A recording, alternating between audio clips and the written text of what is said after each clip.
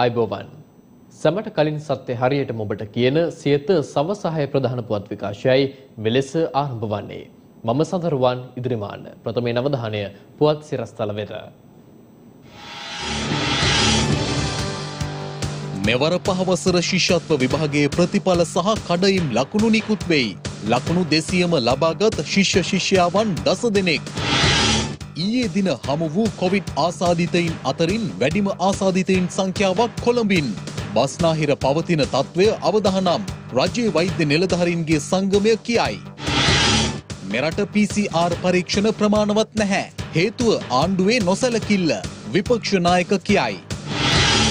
විස්සට සහයදුන් ඩයනාගේ පක්ෂ සාමාජිකත්වය තහනම් කළ බව සමගි ජනබලවේගය නිවේදනය කරයි. විල්පත්තුවේ කල්ලාරු රක්ෂිත කලාපය කැපීම නීති විරෝධී බව අභ්‍යාචනාධිකරණය තීන්දු කරයි.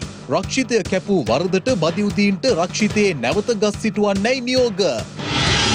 දෙදස් විසි එක අයවැය හෙට පාර්ලිමේන්තුවට. තෙවන පාසල් වාරය ඇරඹීම සෞඛ්‍යංශ සමග සාකච්ඡා කර ඉදිරියේදී තීරණය කරනවා ඇමති ජීල් කියයි. ප්‍රථමයෙන් දේශීය පුවත් වෙතයි අවධානය. COVID-19 වෛරසය ආසාධිතයින් ලෙස ඊයේ දින වාර්තා වූ පිරිස අතරින් වැඩිම ආසාධිතයින් සංඛ්‍යාවක් වාර්තා වී ඇත්තේ කොළඹ දිස්ත්‍රික්කයෙන්. ඒ අනුව කොළඹ නගරයේ පවතින තත්ත්වය අවදානම් සහගත බවයි සෞඛ්‍යංශ අනතුරු අඟවන්නේ. මෙවර පහශ්‍රේණිය ශිෂ්‍යත්ව විභාගයේ ප්‍රතිඵල සහ දිස්ත්‍රික්ක 25 සඳහා වන කඩයිම් ලකුණුද ඊයේ රාත්‍රියේ නිකුත් කර තිබෙනවා. මේ අතර මෙවර ශිෂ්‍යත්ව විභාගයේ සමත් සිසුන් 20000ක් ශිෂ්‍යාධාර සඳහා සුදුසුකම් ලබා ඇති අතර විශේෂ අවස්ථා සහිත සිසුන් 250ක්ද ඊට සුදුසුකම් ලබා ඇති බවයි අධ්‍යාපන අමාත්‍යාංශය සඳහන් කළේ. පසුගිය ඔක්තෝබර් මාස 11 වන දින පැවති මෙවර ශිෂ්‍යත්ව විභාගයේ ප්‍රතිඵල ඊයේ රාත්‍රියේ නිකුත් කෙරුණා. ශිෂ්‍යත්ව විභාගය සඳහා මෙවර සිංහල සහ දෙමළ මාධ්‍ය වලින් ළමුන් 326264 දෙනෙකු පෙනී සිටි අතර විභාග කඩේම් ලකුණුද ප්‍රතිඵල නිකුත් වීමත් සමග විභාග දෙපාර්තමේන්තුව විසින් නිකුත් කරනු ලැබුවා. ඒ අනුව අඩුම කඩේම් ලකුණු සංඛ්‍යාව වවුනියාව සහ මොළතිව් යන දිස්ත්‍රික්ක සඳහා වෙන් කර ඇති අතර එය දැක්වුණේ ලකුණු 157ක් ලෙසයි. මේ අතර සිංහල මාධ්‍යයේ ඉහළම කඩේම් ලකුණු සංඛ්‍යාව සංඛ්‍යාව ලෙස ලකුණු එකසිය හැටනවේ කඩයිම් ලකුණු සීමාව කොළඹ ගම්පහ කළුතර මහනුවර මාතලේ ගාල්ල මාතර කුරුණෑගල සහ කෑගල් යන දිස්ත්‍රික්ක සඳහා නිකුත් කර තිබෙනවා. එමෙන්ම දෙමළ මාධ්‍යයේ ඉහළම කඩයිම් ලකුණු සංඛ්‍යාව වන ලකුණු එකසිය පනස් පහේ කඩයිම් ලකුණු සීමාව මොනරාගල දිස්ත්‍රික්කයට නිකුත් කර තිබෙනවා. මේ අතර මෙවර ශිෂ්‍යත්ව විභාගයට පෙනී සිටි දරුවන්ගෙන් විභාගයේ ඉහළම ලකුණු සංඛ්‍යාව වන ලකුණු දෙසියක් ලබාගත් ශිෂ්‍ය ශිෂ්‍යාවන් රසක් මෙවර සිටින අතර එක් ශිෂ්‍යාවක ගාල්ල සංගමිතා බාලිකා විද්‍යාලයෙන් වාර්තා වී තිබෙනවා. ඇය නමින් සියති විතුස්මා කරුණාතිලකයි. මේ අතර මහනුවර උසස් බාලිකා විද්‍යාලයේ ඉගෙනුම ලබන යහරා යෙත්මිනි ඈපා සිසුවියද මෙවර ශිෂ්‍යත්ව විභාගයෙන් ලකුණු දෙසියක් ලබාගෙන තිබෙනවා. එමෙන්ම ඇඹිලිපිටිය ජනාධිපති විදුහලේ ඉගෙනුම ලබන දොවිඳු තිරංජිත් සිසුවාද මෙවර ශිෂ්‍යත්ව විභාගයෙන් ලකුණු දෙසියක් ලබාගෙන තිබෙනවා. එමෙන්ම හැලියගොඩ ප්‍රාථමික විද්‍යාලයේ ඉගෙනුම ලබන සෙනුදි දම්සරා සිසුවේද ලකුණු දෙසියක් ලබාගෙන තිබෙන අතර තංගල්ල ආදර්ශ ප්‍රාථමික විදුහලේ ඉගෙනුම ලබන පසිඳු කවිශාන් සිසුවාද මෙවර ශිෂ්‍යත්ව විභාගයෙන් ලකුණු දෙසියක් ලබාගෙන තිබෙනවා. මේ අතර මරදාන zahira විදුහලේ ඉගෙනුම ලබන ෆර්සාන් මොහොමඩ් අම්මාර් සිසුවාද සිංහල මාධ්‍ය විභාගයෙන් මෙවර විභාගයට පෙනී සිට ලකුණු දෙසියක් ලබාගත් තවත් සිසුවෙක් එමෙන්ම තෙනුජ මනුනිත බණ්ඩාර නම් පොළොන්නරුව සිරිපුර ප්‍රාථමික විද්‍යාලයේ ඉගෙනුම ලබන සිසුවෙකුද ලකුණු දෙසියක් මෙවර ශිෂ්‍යත්ව විභාගයෙන් හිමි කරගෙන තිබෙනවා. මේ අතර බණ්ඩාරගම ජාතික පාසලේ ඉගෙනුම ලබන හිනුද සස්මිත ගුණතිලක සිසුවා ලකුණු දෙසියක් මෙවර ශිෂ්‍යත්ව විභාගයෙන් ලබාගෙන තිබෙන අතර ඉංගිරිය ශ්‍රී සුමන ජෝති ප්‍රාථමික විදුහලේ ඉගෙනුම ලබන දෙව්ලි අසස්මි තිලකරත්න නම් සිසුවියද මෙවර ශිෂ්‍යත්ව විභාගයෙන් ලකුණු දෙසියක් ලබාගෙන දක්ෂතා අතරට පැමිණ තිබෙනවා. මේ අතර මෙවර ශිෂ්‍යත්ව විභාගයට පෙනී සිටි කෑගල්ල අබන්පිටිය විශේෂ මහාවිද්‍යාලයේ දෘශ්‍යාබාධිත සිසුවෙකු වන සෙලිස් මයොන් සිසුවා ලකුණු එකසිය විසි එකක් ලබා දිවයිනෙන් තෝරා ගන්නා විශේෂ දරුවන් දෙසිය පණහ අතරට තේරීපත්ව තිබෙනවා.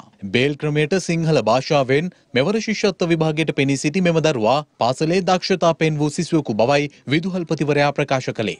මේ අතර යම්කිසි ශිෂ්‍ය ශිෂ්‍යාවකගේ ප්‍රතිඵල පිළිබඳව නැවත සමීක්ෂණයක් සිදු කිරීමට අවශ්‍ය අභ්‍යාචනා ඉදිරිපත් කිරීම පිළිබඳ තොරතුරු ඉදිරියේදී දැනුම් දෙන බවයි විභාග කොමසාරිස් ජනරාල් සනත් පූජිත මහතා සඳහන් කළේ. මේ අතර අද පැවති මාධ්‍ය හමුවකදී මෙවර ශිෂ්‍යත්ව විභාගය සම්බන්ධයෙන් අධ්‍යාපන අමාත්‍ය ජී.එල්. පීරිස් මහතා මෙලෙස අදහස් පළ කළා. මේ ශිෂ්‍යත්ව විභාගයට පෙනී සිටියා ශිෂ්‍ය ශිෂ්‍යාවන් තුන් ලක්ෂ තිස්සෙක් දාහක්. දැන් මේ අවුරුද්දේ අපිට පුළුවන් වෙලා තිබෙනවා මේ විභාගයේ ප්‍රතිඵල නිකුත් කිරීමට දවස් තිස් තුනකින්.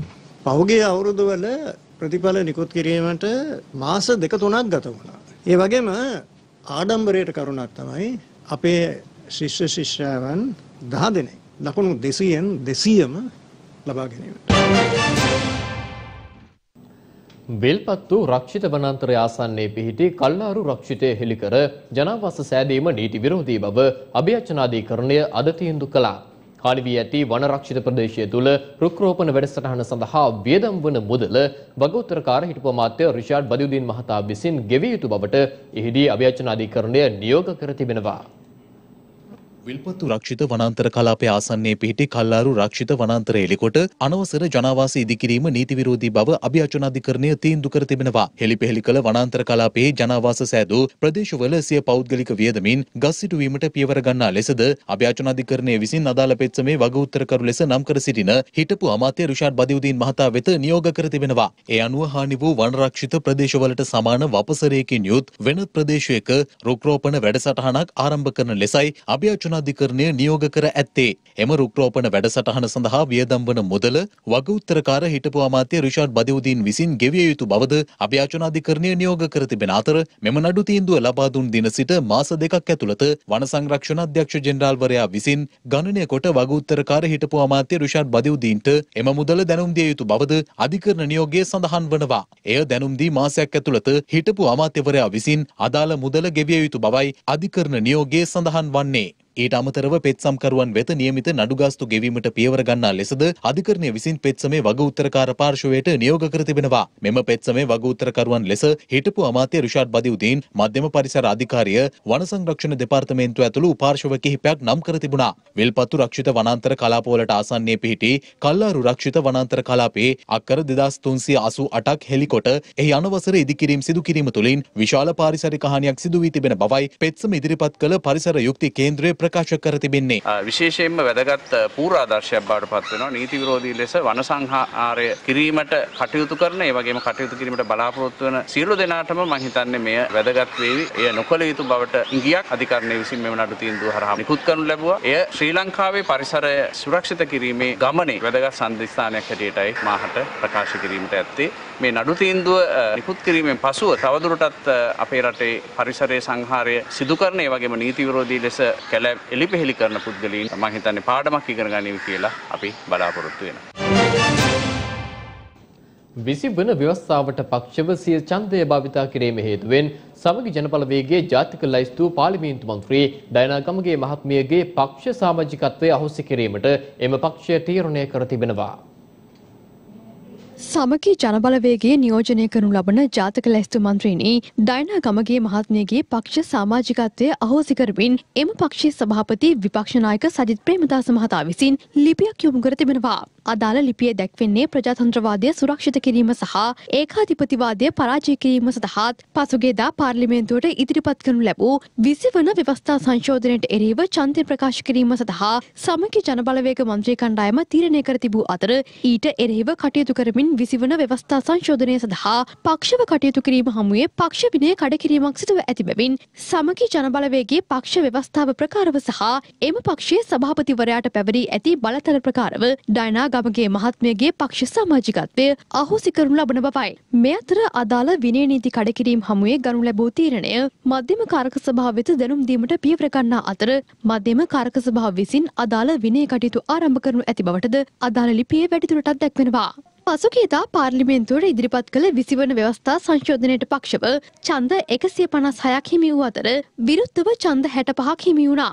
ඒ අනුව විසිවන ආණ්ඩුක්‍රම ව්‍යවස්ථා සංශෝධනය තුළින් දෙකක බෞද්ධයකින් සම්මත වුණා. මීට පක්ෂව සිය ඡන්දය භාවිතා කිරීම හමුවේ සමගි ජනබලවේගයේ පාර්ලිමේන්තු මන්ත්‍රීනී ඩයනා ගමගේ මන්ත්‍රීවරියට එරෙහිව විනය ක්‍රියාමාර්ග ගන්නා බවට එම පක්ෂයේ මහලේකම් රංජිත් මත්තුම බණ්ඩාර මහතා මාධ්‍ය වෙත දැනුම් දී තිබුණා. කොළඹ දිස්ත්‍රික්කයේ පොලිස් වසම් පහක් සහ ගම්පහ දිස්ත්‍රික්කයේ කැලණිය පොලිස් වසම අදාළුවම පහේ සිට හුදකලා කෙරුණා. එසේම බස්නාහිර පළාතෙන් පිටවීම සඳහා පනවා තිබූ සංචරණ සීමා ඊයේ මධ්‍යම රාත්‍රියේ සිට ඉවත් කරනු බවයි පොලිස් මාධ්‍ය ප්‍රකාශක නියෝජ්‍ය පොලිස්පති අජිත් රෝහණ මහතා සඳහන් කළේ. පවතින COVID-19 වසංගත තත්ත්වය හමුවේ කොළඹ දිස්ත්‍රික්කයේ මරදාන කොටුව පිටකොටුව කොම්පජ වීදිය හා වේල්ල වීදිය පොලිස් බල ප්‍රදේශත් ගම්පහ දිස්ත්‍රික්කයේ කැලනිය පොලිස් බල ප්‍රදේශයත් අද අලුයම සිට හුද කලා කෙරුණා. ඒ අනුව මේ වන විට හුද කලා කර ඇති සමස්ත පොලිස් බල ප්‍රදේශ සංඛ්‍යාව විසි හතරක්. අද දින උදෑසන පහේ සිට මරදාන වේල්ල වීදිය කොටුව පිටකොටුව කොම්පඤ්ඤ වීදිය සහ ගම්පහ දිස්ත්‍රික්කයේ කැලණිය පොලිස් බල ප්‍රදේශය ආශ්‍රිතව උදකලා කිරීම සිදු වුණා. කොළඹ නගරයේ අත්‍යවශ්‍ය රාජ්‍ය ආයතන අර්ධ රාජ්‍ය ආයතන ව්‍යවස්ථාපිත මණ්ඩල ඒ වගේම BOI EDB ආයතන තිබෙනවා නම් එම ආයතනත් පවත්වාගෙන යාමට අවසර ලබා දීමට තීරණය කර තිබෙනවා. පිටකොටුව ඒ වගේම ඒ ආශ්‍රිත ප්‍රදේශවල පැවැත්වෙන තොග වෙළඳාම පිළිබඳ කටයුතු తాවකාලිකව නතර වී තිබෙනවා. යම්කිසි තොග වෙළඳාමට අවශ්‍ය එළවලු ආදිය පිටස්තර ප්‍රදේශයකින් රැගෙන එනවා නම් ඊට අදාළ වෙනත් ආර්ථික මධ්‍යස්ථ ස්ථානයක් වෙත ගමන් කිරීමට හැකියාවක් තිබෙනවා. නැවත මේ සම්බන්ධයෙන් සැලසුමක් සකස් කර තොග වෙළඳාම් පවත්වාගෙන යාම පිළිබඳව තීරණයක් ගැනීමට නියමිතව තිබෙනවා. එසේම බස්නාහිර පළාතෙන් පිටතට යාම සඳහා පසුගියදා සිට පනවා තිබූ සංචරණ සීමාවන්ද ඊයේ මධ්‍යම රාත්‍රියේ සිට අවසන් වුණා. බස්නාහිර පලාතේ සංචරණ සීමා ලිහිල්වීමත් සමග ජනතාවට තමන්ගේ ප්‍රවාහන අවශ්‍යතා සපුරා ගැනීම සඳහා හුදකලා තත්ත්වය පැවතුනද කොටුව දුම්රිස්ථානය හා පිටකොටුව ප්‍රධාන බස් නැවතුම්පල අද විවෘතව පැවතියා. සෞඛ්‍යාරක්ෂිත උපදෙස්වලට අනුකූලව ජනතාවගේ ගමනාගමන කටයුතු සඳහා පහසුකම් සලසා තිබුණේ මේ ආකාරයෙන්.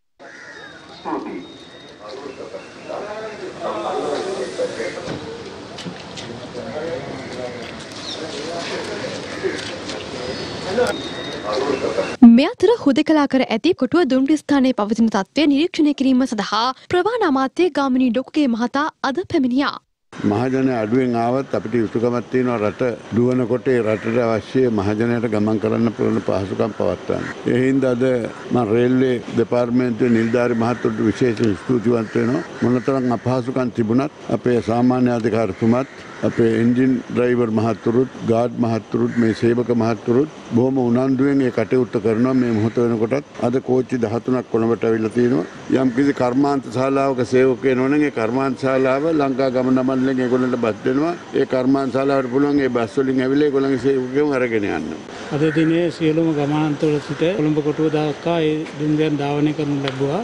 ඒ දුම්රිය වල අපි දැක්කා එක දුම්රියක පමණක් මගින් සංඛ්‍යාව වැඩි වී තිබෙනවා. ඒ කියන්නේ මාව සිට කොළඹ බලා පැමිණි දුම්රිය. ඒ දුම්රිය සඳහා තව දුම්රියක් පොල්ගාවල සිට කොළඹ බලා හෙට දිනේ යොදවන්න කටයුතු කරලා තියෙනවා. ඒ වගේම අද ඒ ආපු සෑම දුම්රියක්ම බෙලියත්තේ සිට අවිස්සාවෙල්ල නුවර හලාවත ඒ දුම්රියන් හැම එකක්ම අද දින සවස් වරුවේදී ඒ ගමනාන්තයන් කරා යොමු කරනවා.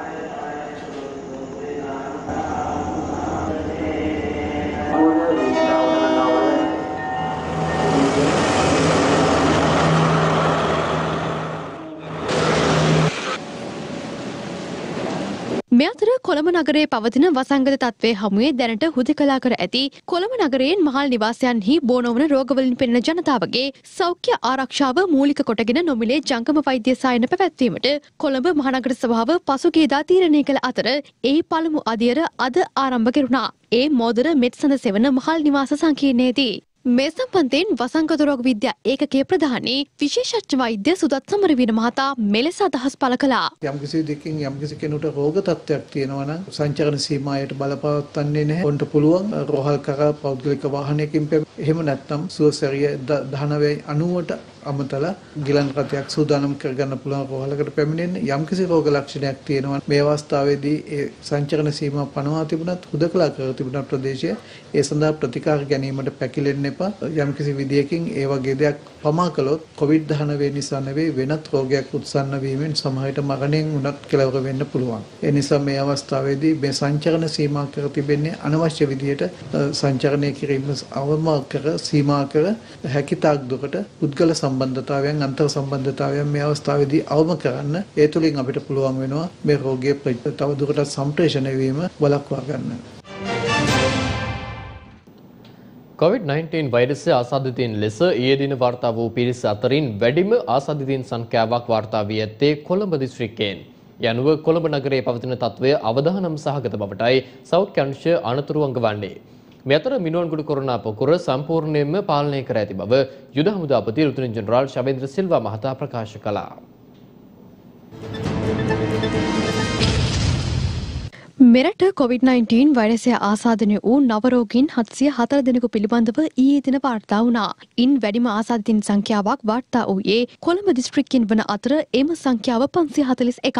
එසේම ඊයේ වාර්තා වූ ආසාධිතින් අතරට ගම්පා දිස්ත්‍රික්කෙන් ආසාධිතින් තිස් නවයක් ගාල්ල දිස්ත්‍රික්කෙන් ආසාධිතින් අටක් කළුතුර දිස්ත්‍රික්කෙන් ආසාධිතින් තුනක් රත්නපුර දිස්ත්‍රික්කෙන් ආසාධිතින් හතරක් කෑගල්ල දිස්ත්‍රික්කෙන් ආසාධිතින් තුනක් මාතලේ දිස්ත්‍රික්කෙන් එක් ආසාධිතයෙක් කුරුණෑගල දිස්ත්‍රික්කෙන් ආසාධිතයෙන් පහක් මානවර හා බදුලන දිස්ත්‍රික්කවලින් ආසාධිතින් තිදෙනෙකු බැගින් හා බඩකලුප දිස්ත්‍රික්කෙන් ආසාධිතින් හත් දෙනෙකු පොල්නරු දිස්ත්‍රික්කෙන් එක් ආසාධිතයෙකු හා පුත්තලම දිස්ත්‍රික්කෙන් ආසාධිතින් දෙදෙනෙකු වාර්තා වී තිබෙනවා. එසේම වෛරස් ආසාධිත පොලිස් නිලධාරීන් පනස් හතර දෙනෙකුද ඊයේ දින වාර්තා වූ ආසාධිතින් අතරට ඇතුළත්. මේ අතර බන්ධනාගාර ආශ්‍රිතව වාර්තා වන කොවිඩ් රෝගීන්ගේ සංඛ්‍යාව හාරසිය තිස් අට දක්වා ඉහළ ගොස් තිබෙනවා. ඉන් ආසාධිතීන් දස දෙනෙකු බන්ධනාගාර නිලධාරින් වන අතර ඉතිරි ආසාධිතීන් හාරසිය විසි අට දෙනා බන්ධනාගාර රැඳවියන් බවයි බන්ධනාගාර පරිපාලන කොමසාරිස් චන්දන ඒකනායක මහතා අප කළ විමසීමකදී සඳහන් කළේ. කොවිඩ් දෙවන රැල්ලේ ව්‍යාප්තියේ කේන්ද්‍රස්ථානය වූ මිනුවන්ගොඩ ඇඟලුම් කම්හලට අයත් කොරුණා පොකුරේ සමස්ත රෝගීන්ගේ සංඛ්‍යාව තුන්දහස් එකසිය හයක් වන අතර මේ වන විට මිනුවන්ගොඩ කොරුණා පොකුර සම්පූර්ණයෙන්ම පාලනය කර ඇති බවයි යුද හමුදාපති ලුතිනන් ජෙනරාල් ශවේන්ද්‍ර සිල්වා මහතා සඳහන් කළේ.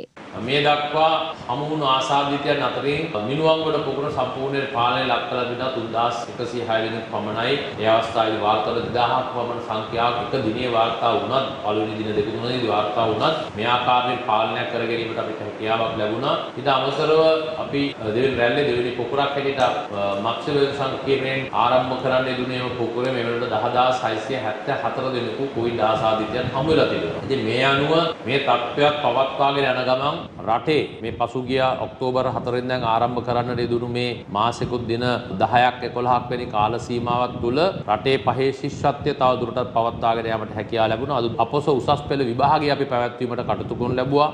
අපනයන ශ්‍රේෂ්ත්‍රයේ අපනයන කර්මාන්ත ශාලා නොනවත්තා පවත්වාගෙන යාමට හැකියාවක් ලැබුණා. ඉතින් මම හිතන්නේ රටේ බුද්ධිමත් ජනතාව මේ බව තේරුම් ගත යුතුයි. රට වශයෙන් තනියම හුදකලාව හිතන්නේ නැතුව විශේෂයෙන්ම ලෝකයේ අනිකුත් රටවල් කොයිඩ් පැතිර යන ආකාරය සමග ඔවුන් ක්‍රියා කරන ක්‍රමවේදයන් අනුව සංසන්දනාත්මකම ක්‍රියා කළ බැලුවත් රට මොන ස්ථානයක තිබෙනවද කියලා තේරුම් ගත හැකියාවක් තිබෙනවා. මේ අතර බස්නාහිර පළාතේ කොළඹ නගරෙන් දිනෙන් දින කොවිඩ් රෝගීන් වාර්තාවීමත් සමග කොළඹ නගරයේ දැඩි අවධානම් සහගත තත්ත්වයක් මතුව ඇති බවටයි රජයේ වෛද්‍ය නිලධාරීන්ගේ සංගමය අනතුරු අඟවන්නේ. බස්නාහිර පළාතේ අවධානම කොච්චරද කියලා තහවුරු කරගන්න හොඳම උදාහරණය තමයි මේ අලුත් රෝගී පොකුර. ඒ කියන්නේ පෑලියගොඩින් මිනුවන්ගොඩින් ආරම්භ වෙච්ච මේ පොකුර මේ වෙනකොට 13000කට වැඩි සංඛ්‍යාවක්. ඒකෙන් තුනෙන් දෙකක් මේ අලුතෙන් වාර්තා වෙච්ච රෝගීන් තුනෙන් දෙකක්. ඒ කියන්නේ 66ක්. හැම රෝගීන් තුන් දෙනෙක්ගෙම දෙන්නෙක් බස්නාහිරෙන් තමයි වාර්තා වෙලා තියෙන්නේ. ඒතකොට ලංකාවේ අනිත් පළාත්වල මේ අවධානම ඊට වඩා සාපේක්ෂව අඩු තැනක තියෙන්නේ. දිස්ත්‍රික්ක කිහිපයක තමයි තව අවධානම තියෙන්නේ. ඒකම කෑගල්ල, කුරුණෑගල, ගාල්ල,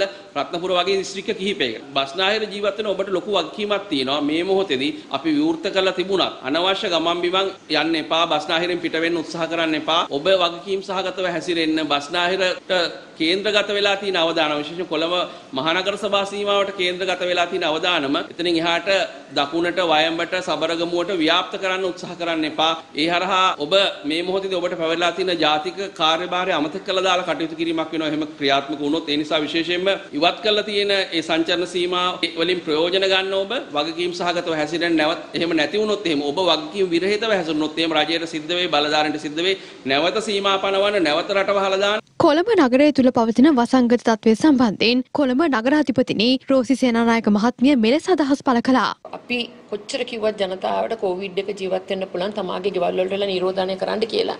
පැල්පත් වාසීන්ට හෝ අඩු ආදායම් ලාභී ජනතාවට ගෙදර ඉඳගෙන නිරෝධනය කරන්න බැරි තරම් පහසුකම් ඒ අයට නැහැ කියන එක මම මේ අවස්ථාවේදී කියන්න කැමතියි. එහෙමනම් අපි කොහොමද මේක පාලනය කරන්නේ? මේක පාලනය කරන්න නම් මම හිතන්නේ රජයේ විසින් දැඩි පාලනයකට යටත් කරමින් හුදකලා කරපු ප්‍රදේශවල කට්ටිය ඇතුල් නොකරන තත්ත්වයකට පත් කරලා පාලනය කිරීම තුලින් මම විශ්වාස කරනවා අපිට යම් තාක් දුරට දෙවන රැල්ල පාලනය කරගන්න පුළුවන්.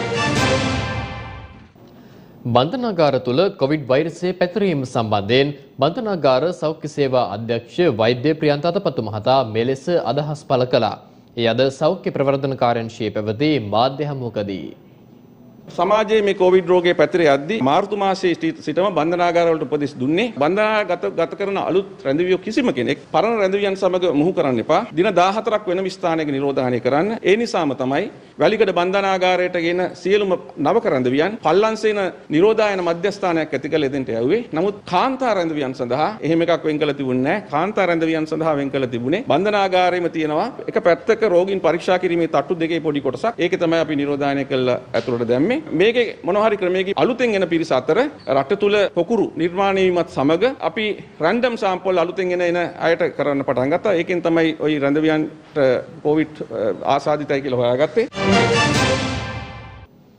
එළපෙන සඳුදා දින ආරම්භ වීමට නියමිත තෙවන පාසල් වාරය ආරම්භ කරනවාද නැද්ද යන්න පිළිබඳ සෞඛ්‍ය ශාස්ත්‍රයේ උපදෙස් මත තීරණය කරන බව අධ්‍යාපන අමාත්‍ය මහාචාර්ය ජී.එල්. පීරිස් මහතා පවසනවා.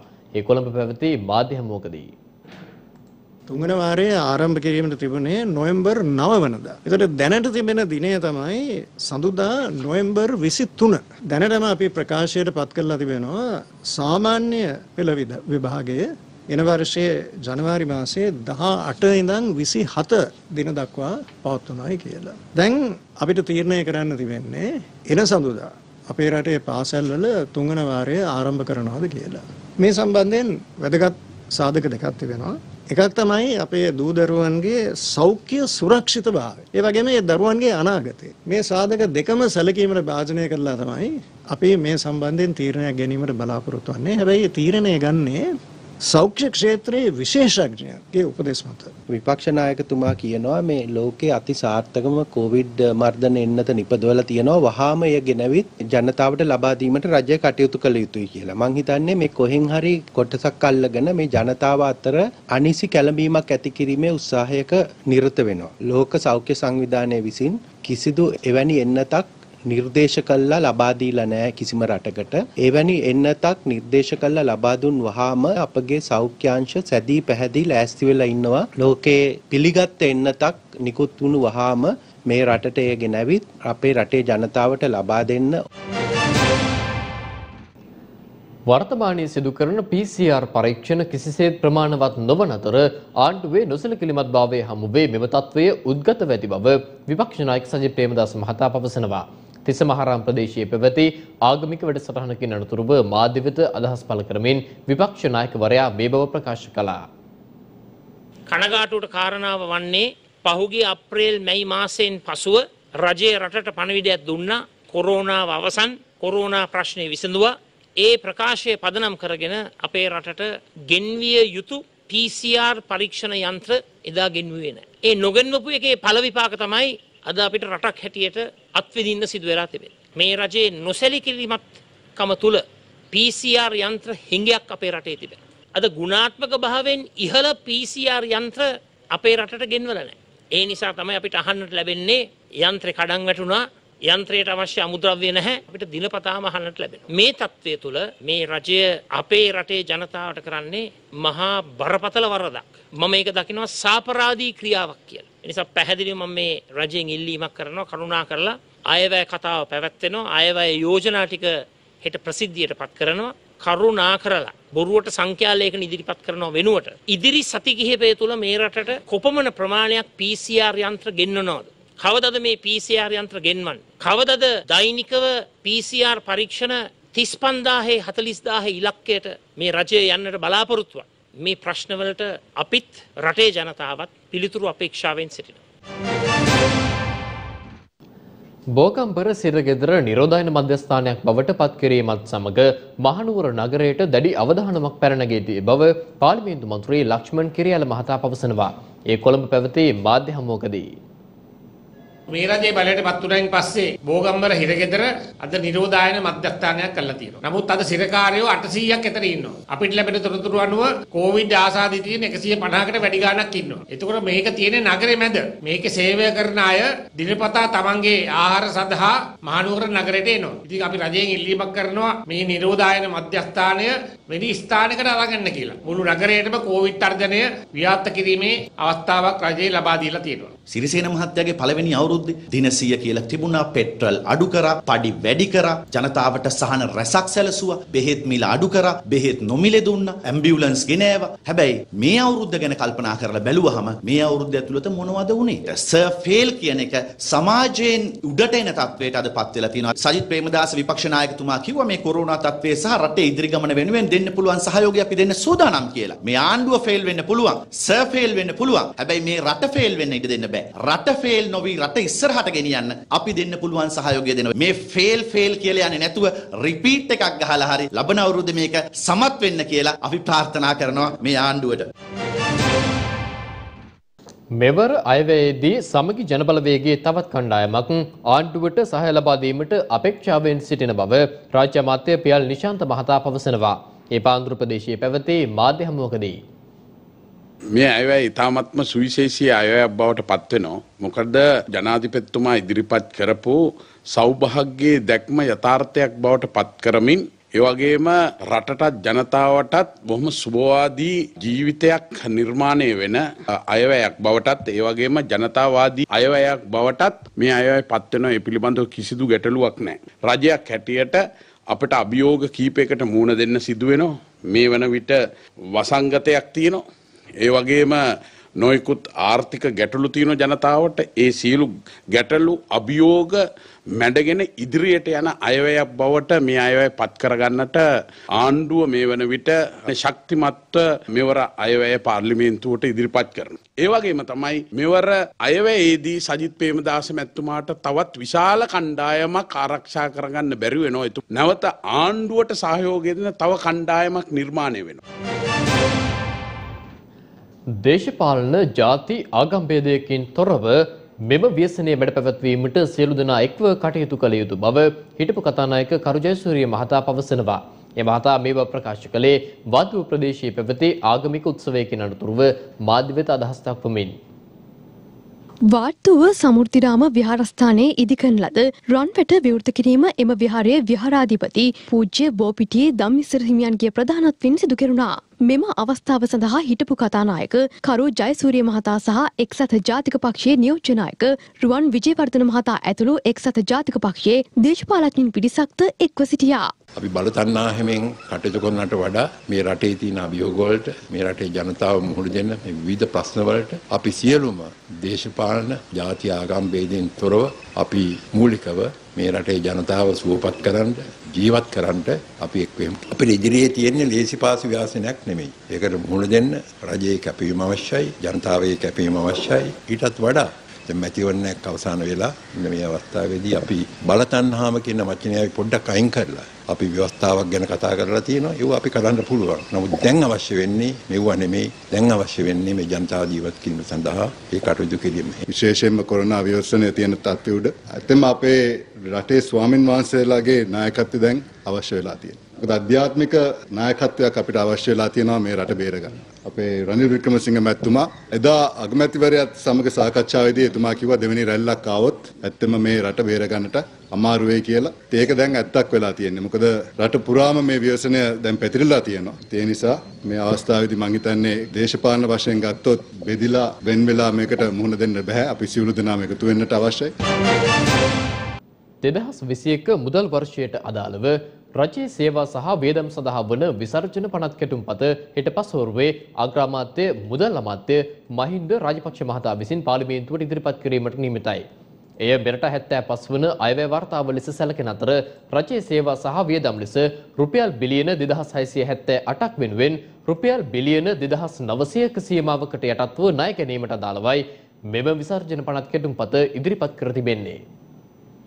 අග්‍රාමාත්‍ය සහ මුදල් අමාත්‍ය මහින්ද රාජපක්ෂ මහතා විසින් දෙදස් විසියක විසර්ජන පනත් කෙටුම්පත දෙවනවර කියවීම ඉදිරිපත් කිරීම සඳහා හෙට පසුරු එකයි හතලියට පාර්ලිමේන්තුව රැස්වීමට නියමිත බව පාර්ලිමේන්තුවේ මහලේකම් ධම්මික දසනායක මහතා ප්‍රකාශ කර තිබෙනවා. ඉන් පසු අග්‍රාමාත්‍ය මහින්ද රාජපක්ෂ මහතා විසින් අයවැය ප්‍රකාශය සිදු කරන අතර එය මෙරට හැත්ත පස් වන අයවැය වාර්තාව ලෙසයි සැලකෙන්නේ. දෙදස් විසේක මුදල් වර්ෂයට අදාළව රජයේ සේවා වියදම් සඳහා රුපියල් බිලියන දෙදස් හයිසිය හැත්ත අටක් වෙන් කිරීම සහ ශ්‍රී ලංකාව තුළ හෝ ඉන් බැහැරව රුපියල් බිලියන දෙදස් නවසයක ණය සීමාවකට යටත්ව ණය ලබා ගැනීමට විසර්ජන පනත් කෙටුම්පත ඉදිරිපත් කර තිබෙනවා. අග්‍රාමාත්‍යවරයා විසින් අයවැය ප්‍රකාශ කිරීමෙන් පසු ලබන 18 වනදා සිට ලබන 21 වනදා දක්වා අයවැය දෙවන වර කියවීමේ විවාදය පැවැත්වෙන අතර දෙවන වර කියවීම පිළිබඳ ඡන්ද විමසීම ලබන 21 වනදා පස්වරු 5ට පැවැත්වීමට නියමිතයි. ලබන 18 වනදා සිට 20 වනදා දක්වා පාර්ලිමේන්තුව පෙරවරු 9:30 සිට පසුරු 5:30 දක්වා පැවැත්වෙනවා. ඉන් අනතුරුව අයවැය කාරක සභා අවස්ථාව ලබන 23 වනදා සිට දෙසැම්බර් මාස 10 වනදා දක්වා පැවැත්වෙන අතර දෙසැම්බර් මාස 10 වන දින පසුරු 5ට ඡන්ද විමසීම පැවැත්වනු ඇති. අයවැය ප්‍රකාශය පාර්ලිමේන්තුවට ඉදිරිපත් වන හෙට දිනේ අයවැය විවාදයේ පැවැත්වෙන සම්පූර්ණ කාල සීමාව තුළ සියලු සෞඛ්‍ය මාර්ගෝපදේශයන් සහ රෙගුලාසීන්ට අනුකූලව පාර්ලිමේන්තු රැස්වීම පැවැත්වීමට කටයුතු යොදා තිබෙන බවයි ධම්මික දසනායක මහතා සඳහන් කරන්නේ. මේ අතර හෙට දිනේ විදේශ තානාපතිවරු සහ මුදල් අමාත්‍යාංශයේ අවසරලත් නිලධාරීන්ට පමණක් පාර්ලිමේන්තු රැස්වීම සඳහා ආරාධනා කර ඇති අතර අයවැය ප්‍රකාශය පැවැත්වෙන කාල සීමාව තුළ කතානායක ගැලරියේ සෞඛ්‍ය ආරක්ෂිත විධිවිධානයන්ට යටත්ව ආසන පනවා තිබෙනවා. එමෙන්ම මහජන ගැලරිය සහ මාධ්‍ය ගැලරිය තවදුරටත් වසා දමා තිබෙන බවයි පාර්ලිමේන්තු සංනිවේදනංශය නිවේදනයක් නිකුත් කරමින් පවසන්නේ. දිවි නාශ්‍රිත පහළ වායුගෝලයේ පවතින කැළඹිලි ස්වභාවය හේතුවෙන් ප්‍රදේශ කිහිපයකට මිලිමීටර් 100 ඉක්ම වූ තද වැසි ඇතවිය හැකි බව කාලකුණ විද්‍යා දෙපාර්තමේන්තුව පවසනවා. දිවයින ආශ්‍රිත පහළ වායුගෝලයේ පවතින කැළඹිලි ස්වභාවය හේතුවෙන් ප්‍රදේශ කිහිපයකට මිලිමීටර් 100 ඉක්ම වූ තද වැසි ඇතිවිය හැකි බව කාලකුණ විද්‍යා දෙපාර්තමේන්තුව පවසනවා.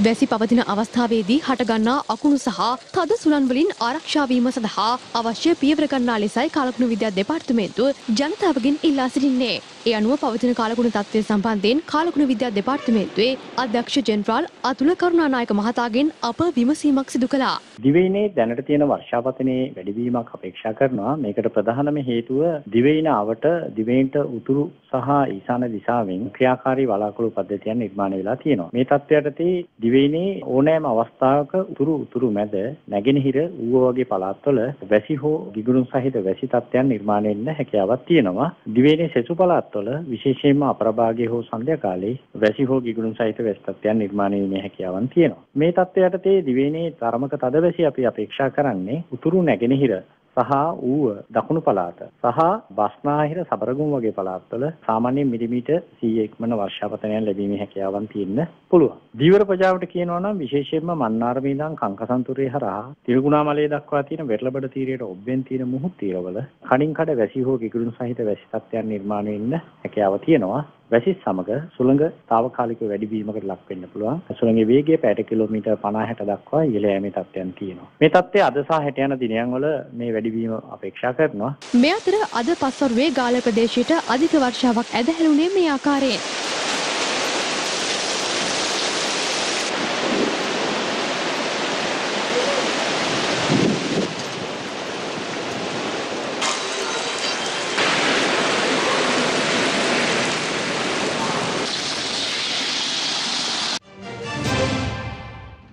දැන් රටවටා පුවත් කිහිපයක් කෙටියෙන්.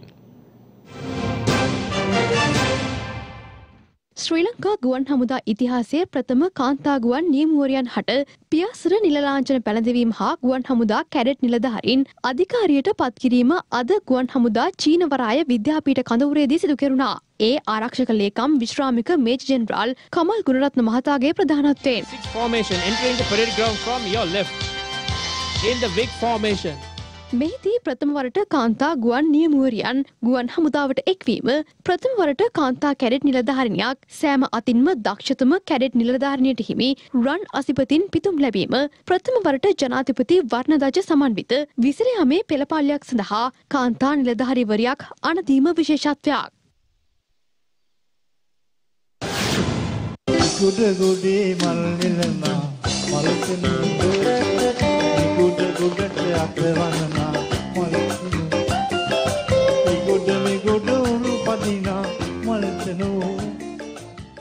ප්‍රවීණ ගායක පෝල් ප්‍රනාන්දු මහතා අභාව ප්‍රාප්ත වී තිබෙනවා. කලක් රෝගාතුරව සිටි ඒ මහතා කළුබෝවිල රෝහලේදී අභාව ප්‍රාප්ත වී ඇති අතර මිය යන විට ඒ මහතා හැට නව වන විහෙ පසු වුණා. වැල්ලම්පිටිය ප්‍රදේශයේ සෞඛ්‍ය ආරක්ෂාවෙන් තොරව ආහාර නිෂ්පාදනය කරන ස්ථාන අද එම ප්‍රදේශයේ සෞඛ්‍ය පරීක්ෂකවරුන් විසින් වටලනු ලැබුවා. මෙහිදී පරිභෝජනයට නුසුදුසු ආහාර සකසන බේකිරිහිමියන් ඇතුළු ආහාර පිසීම් සිදුකර අලෙවි කරන අයවලුන් හට එරෙහිව දැඩි පියවර ගනු ලැබුවා.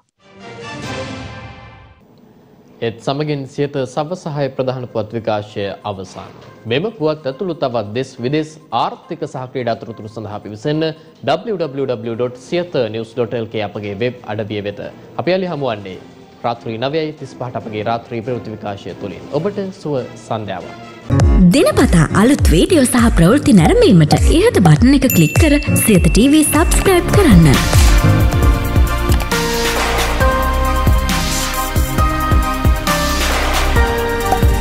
අලුත් වීඩියෝ ගැන මුලින්ම දැනගන්න මෙම සීනුව ක්ලික් කරන්න.